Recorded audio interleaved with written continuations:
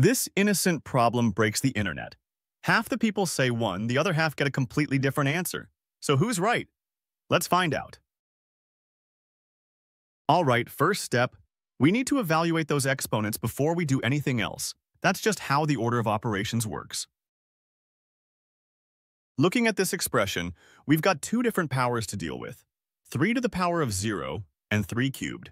Now, any non-zero number raised to the power of 0 is always 1. And 3 cubed, well, that's just 3 times 3 times 3, which gives us 27. So we get 1 divided by 27, divided by 1, divided by 27. Looks simple enough, right? But here's where things get interesting. Before we solve this correctly, let me show you the mistake that almost everyone makes. It's completely intuitive, it feels natural, but it's wrong. And understanding why it's wrong is the key to this whole problem. When you look at this expression, your brain immediately notices the symmetry.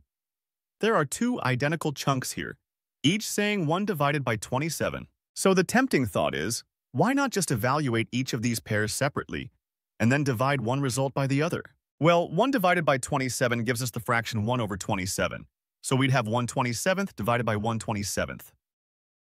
Now, when we divide fractions, we multiply by the reciprocal, so this becomes 1 over 27 times 27 over 1. The 27s cancel out perfectly, leaving us with 1. Clean, simple, symmetric.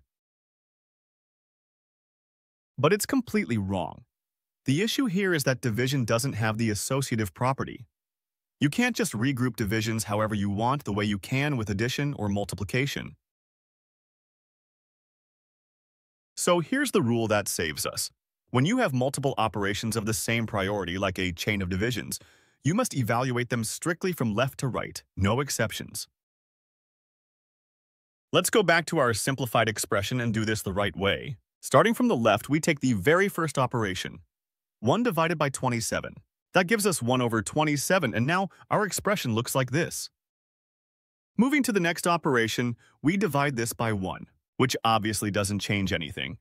So we're left with one final division. 1 over 27 divided by 27.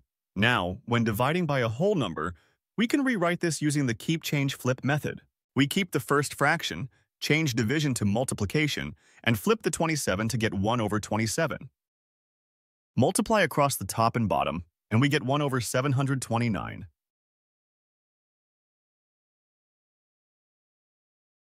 So what's the lesson here? The difference between 1 and 1 over 729 comes down to a single principle. Division isn't associative. You can't regroup it. When you have multiple operations of the same priority, left to right isn't just a suggestion. It's the rule, and this problem shows exactly why that matters. If you enjoyed this breakdown, hit that like button and subscribe for more mathematical insights. See you in the next one.